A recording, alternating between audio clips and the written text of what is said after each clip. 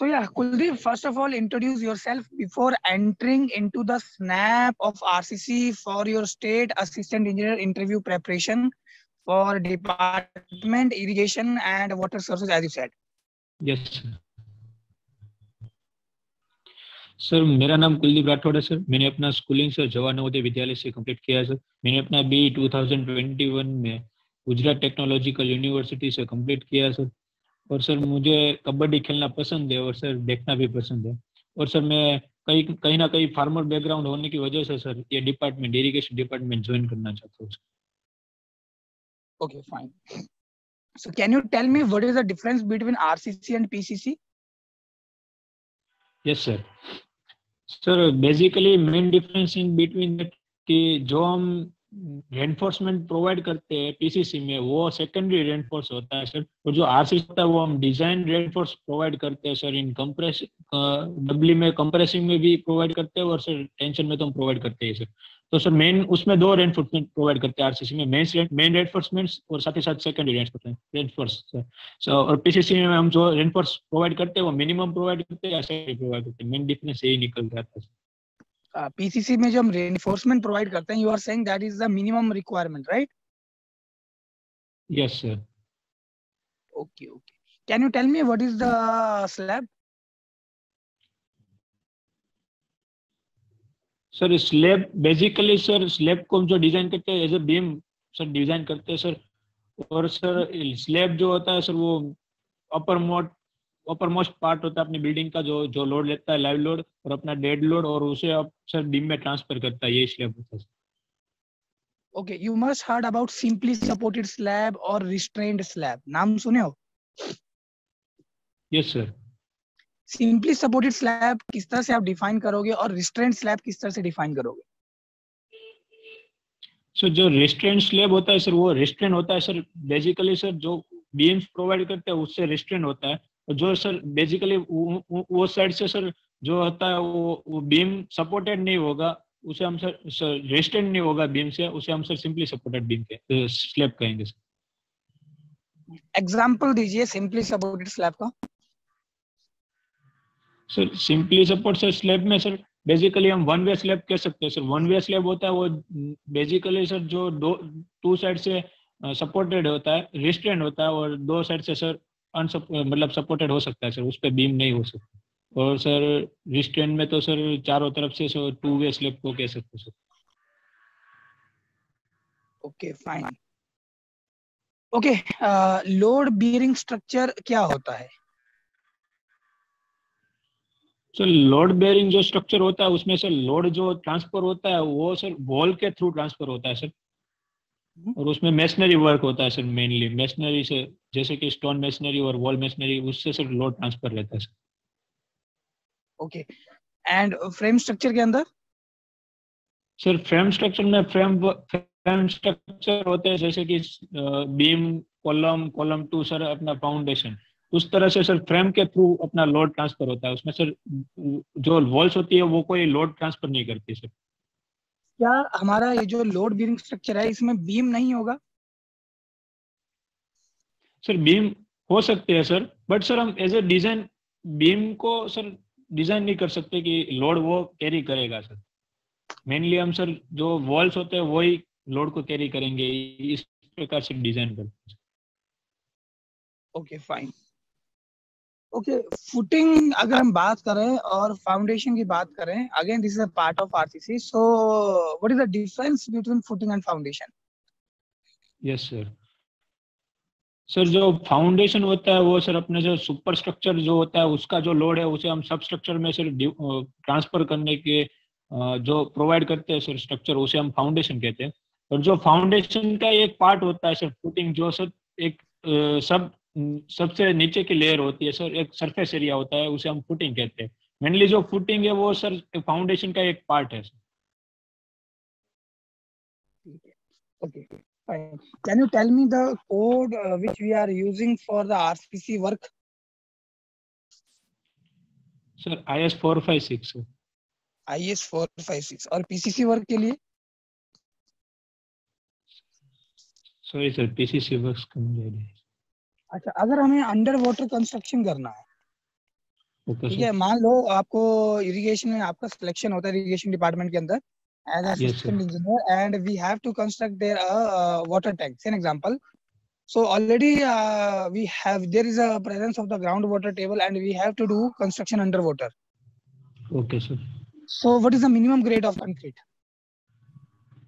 Underwater construction minimum grade of concrete sir. M M25 sir. M25. What is this number specifying 25? So 25 is characteristic strength, sir. Eight, 28 days in Newton per mm square. Of what? Of concrete, sir. Are you sure of concrete or concrete cube? So concrete cube, yes, sir. Standard concrete cubes. Okay. Okay. Can you tell me if we talk about at the junction of column and footing जहाँ पे column और footing का junction आ रहा है that is load is being transferred from column to footing so we have to check their bearing stresses yes sir so what is the purpose of uh, calculation of bearing stress and we are checking there the bearing stress what amount of bearing stress we have what is the purpose of uh, calculation of bearing stress yes sir. Sir bearing stress sir वहाँ पर calculation करना ज़रूर बन बन जाता है sir कई बार sir जो कॉलम होता है वो सर एक अपनी जो फाउंडेशन उसमें पंचिंग का सर फेलियर हमको देखने को मिल सकता है। इसकी वजह से सर हम बेरिंग प्रेशर देखना सर उसकी कैलकुलेशन करना सर इम्पोर्टेंट बन जाता है। ओके फाइन फ्लैट स्लैब का नाम सुने हो? यस सर नॉर्मल स्लैब से किस तरह से डिफरेंट है? सर नॉर्मल स्लैब से सर डिफरेंट डिफरेंट यही है sir.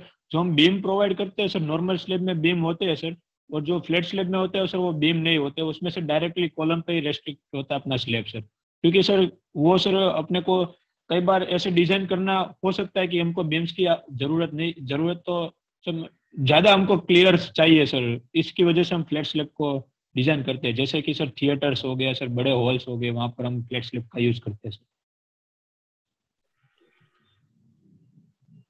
Okay pre stress concrete का नाम सुने हो? Yes sir post tension work और प्री टेंशन वर्क में क्या डिफरेंस है? सर मेनली वो दोनों सर प्री स्ट्रेस कॉन्क्रीट और सर मेनली डिफरेंस यही है। प्री स्ट्रेस में हम सर जो कॉन्क्रीट कास्ट करते हैं सर उसके पहले हम सर उस पर टेंशन जो रेनफोर्समेंट उसे उसमें टेंशन प्रोवाइड कर देते हैं।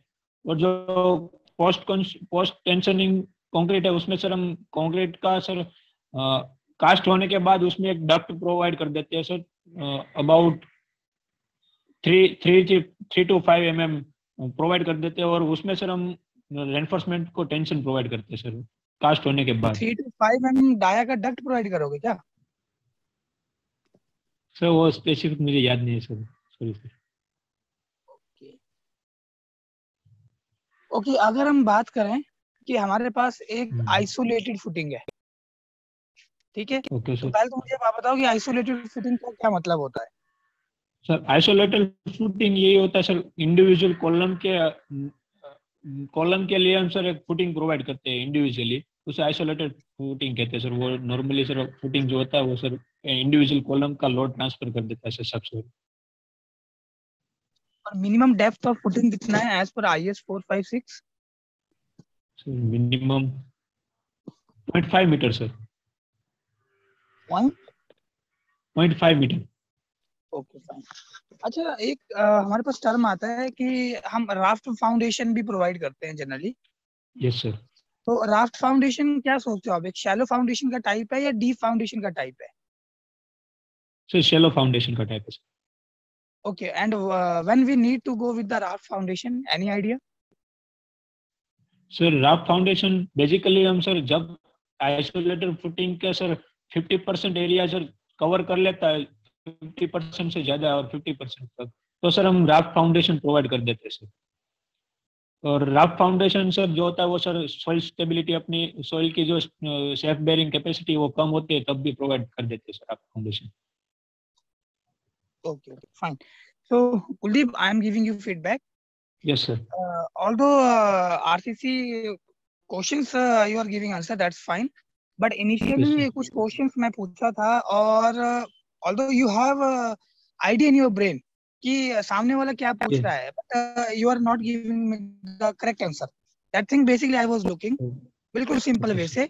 Slab slab is kind of two dimensional structural element okay one is simply supported another one is restrained तो simply supported directly slab rest on the wall so okay, although that's why I asked, I give you hint uh, regarding the load bearing structure. Although you have the concept of load bearing structure in your brain. तुम्हें पता है कि load bearing structure क्या होता है? तो जब wall मेरा directly yes, wall, sorry, जब मेरा slab directly wall के ऊपर rest कर रहा है, तो वो जो स्लैब होती है वो सिंपली सपोर्टेड स्लैब है और इवन प्रैक्टिकल एग्जांपल की अगर हम बात करेंगे तो जो हमारा ब्रिजेस होते हैं ब्रिजेस की जो डेक स्लैब होती है वो सिंपली सपोर्टेड स्लैब के रूप में ही कास्ट की जाती है इवन yes, जो वाटर टैंक होते हैं वाटर टैंक का जो हमारा टॉप स्लैब होता है रूफ स्लैब हम इसे बोलते हैं वो भी एक तरह से सिंपली सपोर्टेड स्लैब ही होता है। Yes. और रिस्टेंट स्लैब क्या है? When corners of the slab are not allowed to get lifting up that is a definition technical definition that is a restraint slab load पड़ रहा है but we are not allowing the corners of the slab to get lifting up so if someone ask okay give me example then monolithic construction slab and beams yes, are yes. casted monolithically. That Plant is a beam. kind of restraint slab. Okay yes. Okay? that is kind mm-hmm. of your restraint slab basically and uh, rest of things are same but uh, you have to give little more uh, attention to the rcc uh, yes sir as you said the 25 minimum grade of concrete for underwater construction uh, it was uh, m30 not okay. m25 ठीक है M thirty है and the number that you are saying that characteristic compressive strength of you said concrete that is not concrete it is a concrete cube after 28 days Yes sir. Fine. So uh, the yes. basic things you have to be keep in your brain. बाकी ठीक है। Yes, पता है आपको that is fine वो मुझे idea हो गया यू नो बट नॉलेज होना अलग बात है उस नॉलेज को एक्सप्रेस करना भी आना चाहिए। हाँ सर सही है सर समझ पा रहे हो बात को? सर मेरा आरसीसी ऐसे भी थोड़ा वीक है सर क्योंकि सर क्या है सर वो जो डिज़ाइन सब्जेक्ट थे ना सर आरसीसी वो वो सब सब्जेक्ट सर मेरे लास्ट ईयर में आए थे। और लास्ट ईयर मेरा सर पूरा कोरोना की वजह से सर पूरा बंद था और वो ऑनलाइन पढ़ना पड़ा था सब। तो इतना कुछ सही से वो समझ नहीं पाया था कुलदीप पैनल के ऊपर बहुत सारे स्नैप पड़े हुए हैं आरसीसी के। प्लीज़ गो थ्रू देम आपको काफ़ी ज़्यादा इंफॉर्मेशन मिल जाएगा और इंटरव्यू में मोस्टली जो क्वेश्चन पूछे जाते हैं आरसीसी से सॉइल से हाईवे से मोस्टली हम्म। आपको मिल जाएँगे चीज़ें। Yes sir fine anything else Kuldeep you want to ask no sir sir sir मतलब इतना तो सही था ना सर कोई कोई बोलने में सर दिक्कत नहीं थी ना कॉन्सेप्ट में सर दिक्कत थी बट सर बोलने में सर दैट इज़ फाइन बोलने में कोई इशू नहीं है। See language is not a issue Kuldeep if you have knowledge English में इतना ज़्यादा सही से नहीं कोई कोई प्रॉब्लम नहीं है कुलदीप इंग्लिश का इतना कोई आज की डेट में इतना मैटर नहीं रहता है इंग्लिश का। मैं क्या बोल रहा हूँ अगर नॉलेज होती है ना तो अंदर से वो कॉन्फिडेंस आता है झलकता है। आंसर देते वक्त कभी भी कोई बच्चा वहाँ पे फंबल नहीं होता है हेजिटेट फील नहीं करता है। ठीक है हाँ अगर नॉलेज है लेकिन बोल नहीं पा रहे हो that is only due to the lack of the practice okay so ठीक है थोड़ा सा और प्रैक्टिस कीजिए बेसिक थिंग्स के ऊपर। So many snaps are there on the panel so please go through them और कुछ पूछना चाहते हो Kuldeep? No sir no sir so okay all the best and keep preparing thank you sir thank you okay